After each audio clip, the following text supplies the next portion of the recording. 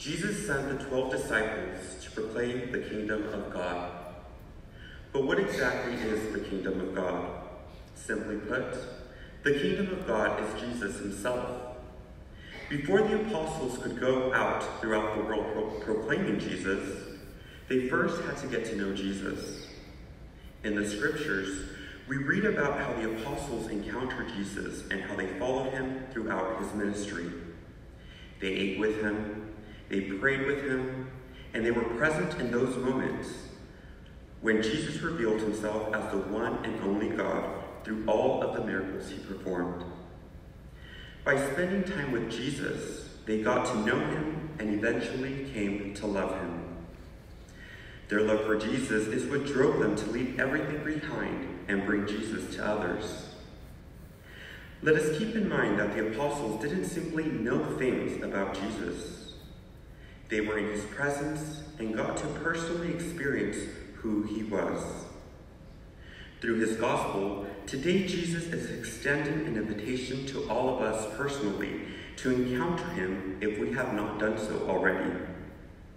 For those of us who have already personally encountered him at one point in our lives, he is inviting us to re encounter him. He wants to share something more about himself with each one of us so that we can continue to proclaim him to all those we encounter. There are many ways we can encounter Jesus. We can encounter him by reading the scriptures, through our personal prayer.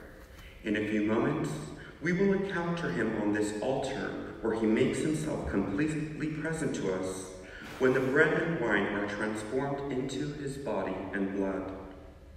Unlike the apostles, we are unable to see and hear Jesus as they did.